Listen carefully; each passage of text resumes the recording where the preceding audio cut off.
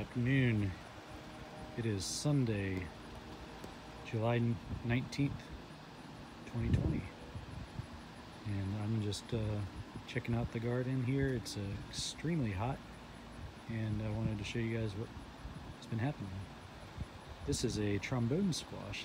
It is the second one of the year and it's doing well. It's, uh, it's being supported by this rope here and so far so good. We have zucchinis that are making fruits. Here's one right here, a little zucchini. Our tomatoes are making fruits, but they're still kind of sad from the heat. Their leaves are wilting, you can see, but they're alive. More tomatoes over here. We still have our mints and green onions doing well.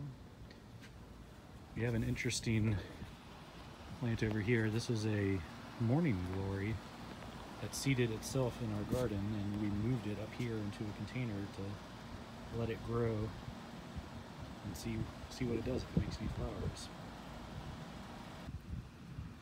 Down here our zucchinis are doing well too. Our cucumbers and bush beans are growing like crazy. Great big tomatoes growing over here. Cabbages, Elizabeth cleaned up this area some, so it's a little, a little cleaner, a little more space.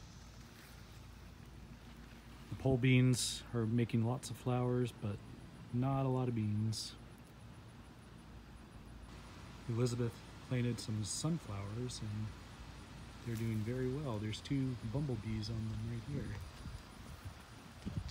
Really like these sunflowers.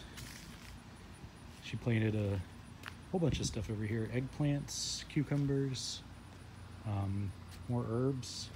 This is a climbing flower of some kind. Uh, hyssop is flowering.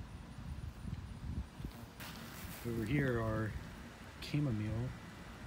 It's growing really well. You need to pick some of these to dry them. The cucumber and Kajari melons are still growing. Lots of vines and flowers. More cucumbers up here. We've gotten maybe three or four off of these two plants. This one needs to be twisted. Like that. That's better. And let's see here. I picked some tomatoes off of these vines, some red ones. So that's kind of exciting. This one, this is a fun one.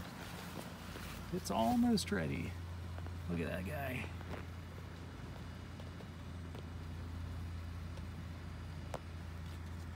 It's got a little crack in it, but it still looks like it might be tasty. We'll see. We got some big ones over here starting to ripen.